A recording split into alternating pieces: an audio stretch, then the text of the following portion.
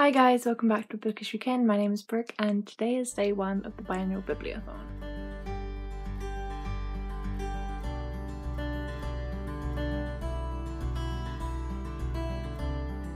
Or at least it is when this video goes up. It is currently at 11.32pm. I got home from work just under an hour ago. I'm so tired. I don't think I'm gonna wake up, stay up until 12 o'clock and even if I do, I don't think I'm going to be able to start reading because I just want to finish watching my YouTube video. I am uploading a YouTube video and then I'm going to sleep. So yeah. Um, but I have given myself just two books for me to start tomorrow morning before I go to work. Um, I've got quite a long shift tomorrow, unfortunately, so I won't get much reading done. Hopefully, I'll get some before I leave, and then I get home at half four. So hopefully, I'll get some done afterwards as well. And so the choice of books that I have given myself is either Daughter of the Burning City by Amanda Foody or Lost Boy by Christina Henry. This book wasn't originally on my Biannual Bibliothon TBR, which I'll link down below by the way. Um, but I got this today and I thought it could go for the challenge of the book you've most recently bought because um, it looks like a good book. I'm interested to see what it is. It's a retelling of Peter Pan, so I'm interested to see what it's like and just give it a go. If you don't know what the Biannual Bibliothon is, it's a readathon that takes place every six months. Um, and they have different blog challenges and reading challenges and Instagram challenges and YouTube challenges. And I haven't prepared for any of the other challenges. I'm thinking about doing the blog challenges and the Instagram challenges, but we'll see how that goes when tomorrow, I guess. We'll see how that goes tomorrow. Um, but yeah, so good luck to everyone who's participating this week. I'll update you all tomorrow, I guess. Yeah. Night. Morning, everyone. Sorry if I look a mess. I woke up about an hour ago. Um, so yeah, that's why I sound like I've just woken up and I look like I've just woken up. It is four past seven right now. The past hour I have been reading. I have decided to start reading Lost Boy by Christina Henry. I am on page 55. Um, it's very different to what I was expecting it to be like, but I'm still really enjoying it. Um, it's a bit of a slow read. I think I would have liked something a bit more fast paced, but I'm gonna give it a go. Um, it's not a very big book. Let's see how many pages it is. It's 318 pages, which isn't too bad. So I'm gonna go and get ready for work now and head into work. Uh, I might get some reading done before I go. I don't know. Hopefully. But yeah, I'll see you guys later. Yeah, I am just driving home from work right now. Um, I'm running a bit late. It's like half five. I was meant to finish at half four, but we were super busy and everything was a bit chaotic. So I didn't get sent home till about quarter to five, and then I was dying of thirst, so I had to go and get myself a drink, and I got myself a bubble tea. I got peach bubble tea with tapioca pearls and green apple popping pearls. It's my first time getting the tapioca, and I don't like them. I've decided they're too weird. I'm gonna stick to my flavoured popping pearls because tapioca ain't great. Um, but that's really actually really refreshing, like the drink itself, minus the tapioca. Um, so yeah, I'm not very used to this vlogging thing as you can probably tell, but um, so yeah, I'm just driving home. I'm going to have a shower when I get home because I feel disgusting from work. Um, it'll take me about 20 minutes to get home unless there's traffic, which there is, so it's to take me longer. And yeah, I'm gonna have a shower when I get home and then I'll probably do some reading. I haven't read much since uh, since this morning when I updated you last. I think I read like three pages since then because I was gonna read in my break.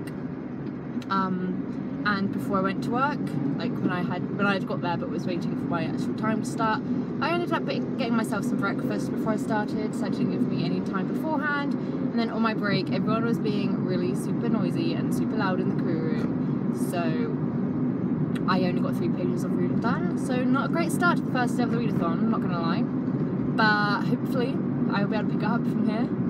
Um, obviously I need to um, edit this tonight and I need to, what is it? I need to write up the blog post for today because I think I could do that really easily and quickly, so I'm to try and get that done as well, and maybe do the Instagram challenge, we'll see how it goes. Um, but yeah, I think that's all I have to say right now. how are you guys coping with the day? I mean, I'm not gonna get told yet, but um, yeah, I'll talk to you guys later. Bye. Hello again. Um, I think the last time I talked to you was either before work or after work. I can't actually remember, but it is eight fifty six. I haven't read anything. I have read nothing since I last updated you. Um, my family decided to go out for dinner tonight, so I went out for dinner with my family, and then I hung out with my family for a bit downstairs, just talking. So that was really nice. But I haven't got any reading done, and I feel like I have no content for this vlog right now, which I apologise for if this is really boring. I'm sorry. But because I have no content for this vlog, I thought I would just do a little mini like unboxing sort of thing. Um, I was going to do this as a whole separate video, I don't think it's going to take that long. And because I don't have any content for this video, I might as well put it in here now. I look a mess, first of all, so please just excuse the fact that I look a mess. Um, but yeah, so I ordered a mystery bundle from a girl called Emily over on Facebook. She's awesome. I ordered quite a few books from her recently. Um, just I'm just constantly messaging her like, yeah, I'll have that one. Have all my money. Just take it all. Well, you know what? I'm enjoying the books, so that's not matters, I suppose. Um, but yeah, she is selling a bunch of her old books to uh, save up money for Stonehenge University in September, I believe. Um, and she has done mystery bundles, so you can get a book, a bundle of one, two, or three books. And they're really cheap. Ten pounds. because I got the three book bundle, and you just tell her what sort of genre you like, what sort of books you're into, and she makes a bundle with the books that she has, and sends it to you. And it's really, really cute. So I've already opened the main, the main parts when I got home because it was, you know, I was excited. But so this came in it. So obviously I got three books all wrapped up. But she also sent me some extra little goodies, which is amazing. Thank you so much to her. Um, it's just such like a nice touch. Um, so she's just got a little note saying thank you um, for it and I hope you enjoy it and stuff, which is really nice. Then she just sent me a little No I Can't Even bookmark. And if you've seen my recent book talk and review of No I Can't Even, you know I'm obsessed with that book at the moment and I loved it. So when I saw this, I like nearly died with happiness because I have got one No I Can't Even bookmark, but this one is different. Um, my one is for No I Could, ever, could Never, this one is for No I Can't Even. So I'm very happy to have this. And then she's also just put in this little Open Me um, on the go sample of Love by Gemma Cairney, I think is how I believe this is some sort of like health self help book. It says a toolkit for now for how magic and messed up life can be, and just has like little experts and like tips and stuff on mental health, and that's really cute as well. And then she also put in these two little lollies. So now I'm just going to unwrap all of these books. So as you can see, she put post-it notes on each of the book. Um, sort of giving you a few words describing what they're like. Um, I have read through these post-its and I can't think of any of them. Um, I said to her that I like YA and middle grade and mainly fantasy and sci-fi. So let's just open the first. Oh, I'm so excited. Um, I'm just gonna put them down here. So I'm just gonna open them all right now and just let's see what we have. So here's the first one. Also, this wrapping paper is gorgeous, I'm just saying. So, the first one says middle grade, fantasy, magic, male protagonists, and mysteries. Ooh. Maybe it's Percy Jackson? That's the only one I can think of. I don't read many books with male protagonists because I don't feel there is that many in YA and middle grade, but let's just open it up and see. I mean, it's. No, it's not Percy Jackson. What's this? Knights of the Borrowed Dark. What the hell is this? It looks.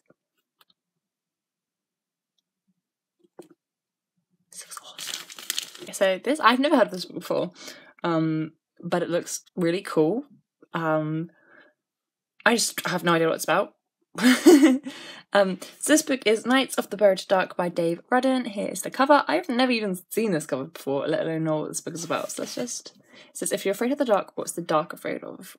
That's intrigued me straight away. Gray placed his finger in the middle of the shadow. What's this? he asked. Denizen frowned. It's a shadow. No, it isn't, Gray said. It's a door. Denizen Hardwick doesn't believe in magic until he's ambushed by a monster created from shadows and sees it destroyed by a word made of sunlight. That kind of thing can really change your perspective. Now Denizen is about to discover that there's a world beyond the one he knows, a world of living darkness where an unseen enemy awaits. Fortunately for humanity, between us and the shadows stand the Knights of the Borrowed Dark. Unfortunately for Denizen, he is one. I'm not even gonna lie, that sounds right on my alley, first of all. That sounds something I would totally read. I've just never heard of it before. Why haven't I heard of this? It sounds like I'm actually really going to enjoy it. So, um, yay! We're already off to a good start with this. Um, if you've read this or heard of it, let me know down below. But this is amazing. Um, thank you, Emily. So the next one is middle grade sci-fi slash fantasy. It says wolves, bears, and demons. First in series and murder. It says wolves in it, and I love wolves, so it's already off to a good start here. And I love a good series, so let's just have a look. Oh, do I? I think I know this. I know what this is. I know what this is. My sister's read this book. I think I know it anyway. I knew it. I knew it. I knew it. I knew it. Um, so this is Wolf. Wolf. This is Wolf Brother by Michelle Paver, and it is part of the Chronicles of Ancient Darkness. This is the cover here. This is part of a series. My sister read it a few years ago and she really enjoyed it and I have been wanting to pick it up because I love wolves and it has wolves in it. Um, so this does sound really good. I'm just going to read you the blurb quickly. Torak is alone, wounded, terrified and on the run. An outcast like his father, he has avoided all contact with the clans, but now his father lies dead, slaughtered by a demon in the form of a great bear. Somehow Torak must keep going. His only ally is an orphaned wolf cub. Wolf Brother carries you back thousands of years to the ancient darkness of the forest, to a world steeped in natural magic and elemental terror, a world in which trusting a friend means risking your life. Wolf Brother is the first book in the Chronicles of Ancient Darkness. So it's just demons, wolves. It's elemental was elemental magic, natural magic, elemental terror. That just sounds right again, right up my alley. Um, it sounds like something I really enjoy, and I have heard of this one, and I've heard such good things about it. Look at the map. That's gorgeous. And these books are in such good condition, like for used books, these are like in perfect condition. So very happy with that. And now I don't want this to end. I just want to keep unboxing things. Like, can someone just send me an endless supply of like mystery boxes, please? Like, I'd really appreciate that. Thank you. But the last one, sadly, the last one seems to be paper, seems to be hardback, so that's really exciting. Uh, and this one is a young adult book. It's sci-fi slash fantasy. Rebels and Guardians gives me Delirium vibes. Ooh. I liked Delirium, so that will be that's exciting. I didn't like the last two that much, but the first one was incredible. I loved it. Um, definitely gave it five stars. If I didn't, it's, Ma it's Blackman book. It's Malorie Blackman book. I can just okay. Again, this book is in such perfect condition. I've again I've never heard of this book. Um, it is Noble Conflict by Malorie Blackman. No bullets, no knives, no questions. This cover's very intriguing me though. It's not the sort of thing I'd like pick up in the shop, but that doesn't mean it's not something I'm going to enjoy. Let me just see what it's about. Years after a violent war destroyed much of the world, Casper has grown up in a society. Casper has grown up in a society based on peace and harmony, but beyond the city walls, a vicious band of rebels is plotting to tear this peace apart. It is up to the Guardians, an elite peacekeeping force, to protect the city, without ever resorting to the brutal methods of the enemy. When Casper joins the Guardians, he has a chance encounter with a rebel, a beautiful girl named Rhea. Haunted from that moment on by strange visions and memory, memories, memories that could only belong to Rhea. He realizes he hasn't been told the truth about what the rebels really want and what he's really fighting for. That sounds really interesting. It sounds very dystopian, I think. Dystopian fantasy, which I'm all up for. Um, as you can tell, because I love Grace and Fury, and that's totally dystopian fantasy. I mean, it does sound really interesting. I'm actually really excited to read this. And Malorie Blackman's meant to be a really great author. And it's not too long either, so I'm really happy with that.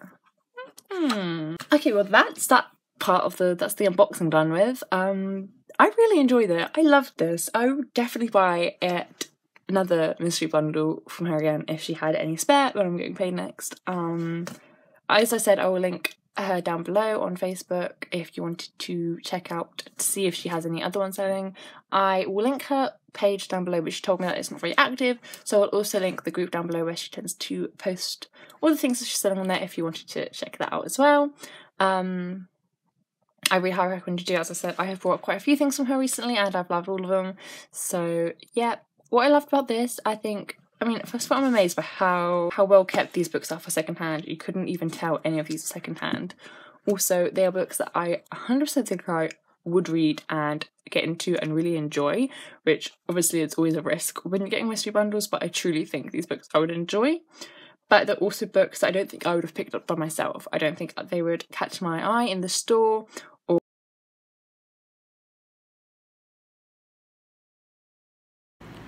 So as you can tell from the wet hair, I have had a shower and I have been sat here for about half an hour, maybe more, trying to get this video edited. Edited for some reason I can't get the video footage off of what I'm recording on onto my laptop to edit it. So I don't know what I'm gonna do. Um, normally it works fine, but for some reason, because I'm using something else, it's not working, which is really annoying because I wanted to get this up tonight. Um, but I think I'm gonna have to get it up tomorrow instead. Uh, I mean, I'm not.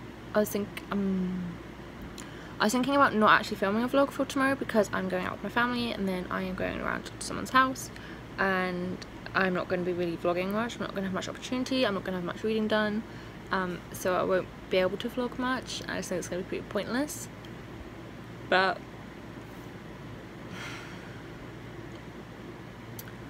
I don't know.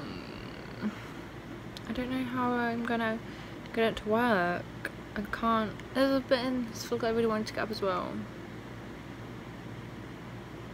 I don't know. It's also meaning I'm not getting much reading done so I'm trying to fix this and solve this. I'm not getting my blog post written up. It's all going to chaos. I should have planned more. I should have prepared more for this readathon, but I didn't. So here we are. I am currently watching booktube while I try and get it fixed. I'm watching a Clockwork Readers. I read six books in one day video. Little vlog thing. She got her vlog to work. I can't get mine to work. My hedgehog's just got out. Don't know if you can see it. Okay, sorry for the egg. I just put my hair up in a bun. Um, I look a complete mess right now. Um, can't believe I'm putting this online, but hey ho, here we are. Um, so I'm exhausted. It has been about half an hour since I last filmed that little clip.